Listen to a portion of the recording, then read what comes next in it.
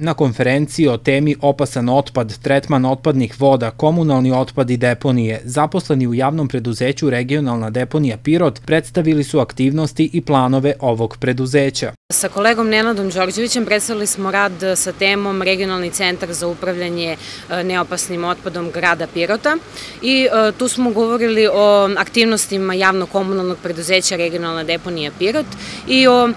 drugim aktivnostima koje planiramo ovaj, u narednom periodu periodu. U planu je ovaj da krene e,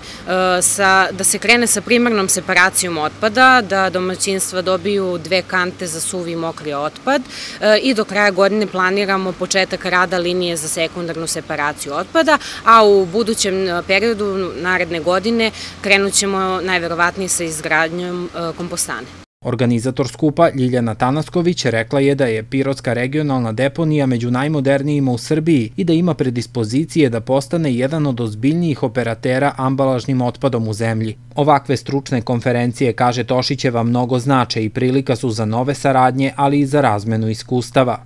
na taj način, da kažem, stvaramo nova partnerstva u oblasti zaštite životne sredine i upravljanja ambalažnim ovaj, otpadom i naravno i u drugim oblastima. E, htela sam samo da istaknem da smo e, posetili e, regionalnu deponiju u Subotici i sa zaposlenima smo tamo razgovarali o nekim bitnim, da kažem, temama vezanih za